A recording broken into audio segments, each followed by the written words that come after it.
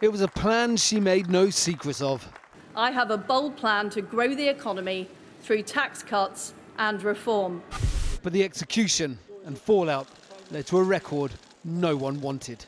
I cannot deliver the mandate on which I was elected by the Conservative Party. The shortest serving UK Prime Minister in history.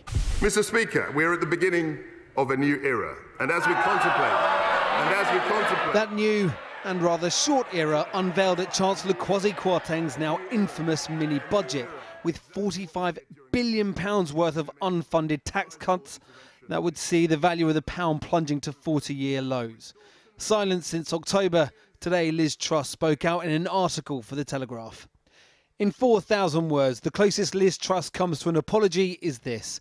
I am not claiming to be blameless in what happened, but fundamentally, I was not given a realistic chance to enact my policies by a very powerful economic establishment, coupled with a lack of political support.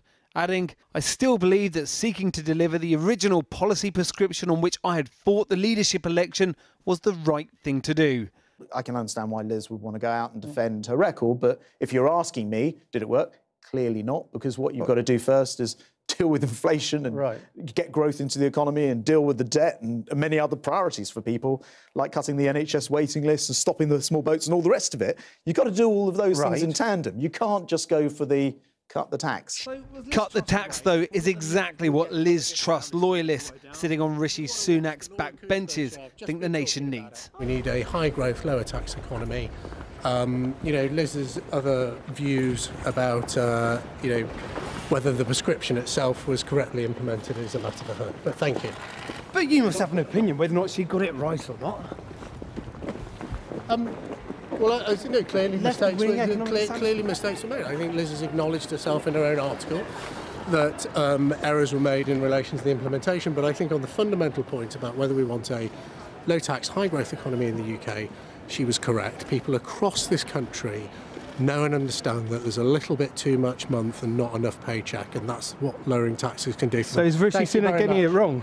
The problem for Rishi Sunak is a significant number of Tories think he is getting it wrong with taxes too high, and his critics may be about to get more outspoken.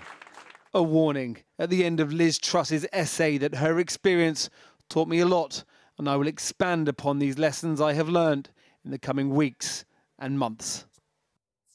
Well, I caught up with Damian Green, who was former Prime Minister Theresa May's deputy, and I began by asking him what he thought about Liz Truss's claim that a powerful economic establishment was to blame for her demise.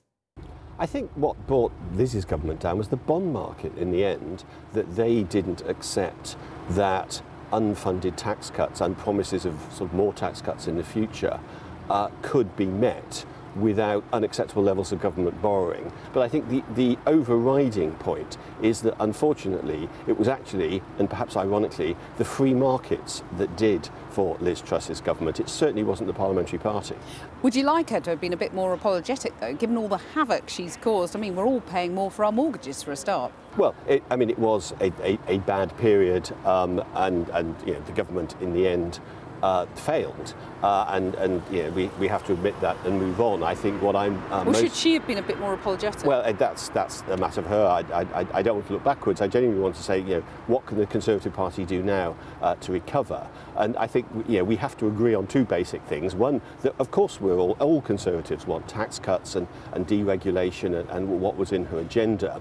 But what we need to learn is that you need to earn the right to, to have tax cuts, and to do that you need the public finances under control, you need inflation under control, and that's what the government's trying to do now, with a view to having all the tax cuts that we all want. But her point was lower taxes now to stimulate growth sooner. Well, uh, tax cuts that uh, the markets won't accept clearly don't uh, advance growth. What they do um, is push interest rates up and have emergency economic measures that actually reduce confidence in the economy and therefore reduce growth. You know, of course we want growth and of course that needs to include deregulation, but you can't just have tax cuts whenever you want them.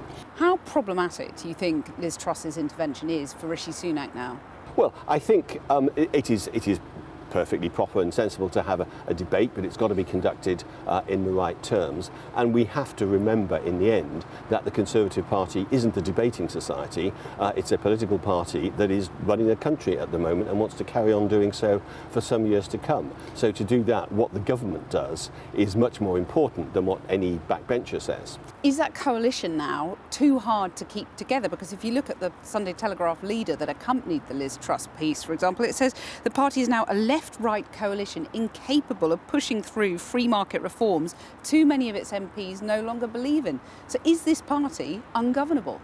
Well, the Conservative Party has always been a coalition, and it has to be. We have a first past the post electoral system where you win elections and get into government by assembling a coalition of many millions of voters. Now, is that coalition now so broad and so divided that it's impossible to bring together? I don't think it is, because I, I, disagree with this idea that you know, there are Conservatives that don't care about, about deregulation and, and growth and so on. That, that's just a caricature, that's just not true. You know, we may have a reasonable debate about how best to get to where we all want to get. But I think the debate needs to be framed as that rather than uh, this, this, this slight feeling that you know, there's, a, there's a betrayal going on. That, that's, that, I think, is nonsense. Well, Liz Truss's article is not the only noises off for Rishi Sunak at the moment. He's got an avalanche of bullying allegations against Dominic Raab, his deputy. Dominic Raab denies those allegations, but should he stand aside while they're investigated?